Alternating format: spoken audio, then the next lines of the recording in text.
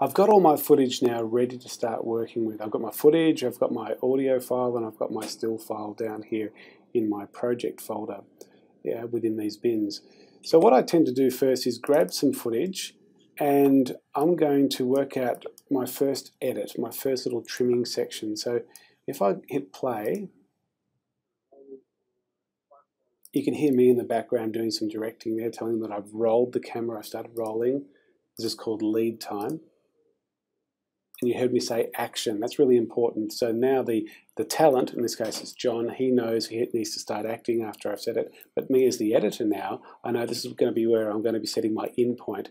So that button there is to mark in. The shortcut is to press an I on the keyboard. And now I've got my in point. If I hit play, John should start acting.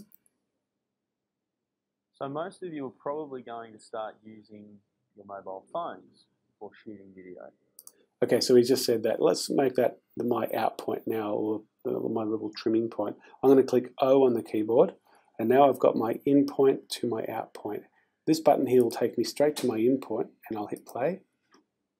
John doesn't start straight away, so there's a bit of a gap there. So what I'm going to do is I'm going to trim that slightly, just before he opens his mouth.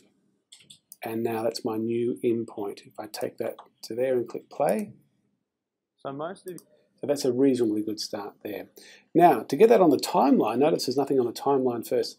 When you first start your first edit, you need to actually go to your footage, do a right click, and go to the section here called New Sequence from Clip. There are other ways of doing this, but this is a, sort of a logical way that I think is fairly simple. So I'm going to click New Sequence from Clip, and there it is. My little in to out point appears on the timeline. I can magnify that by just scrolling that little bar there, click, hold, and dragging, and you can see as I hit play, which is my space bar. So most of you You can see John acting there. I'll just tighten that up a little bit. There we go. You can see that a bit better. Probably going to start.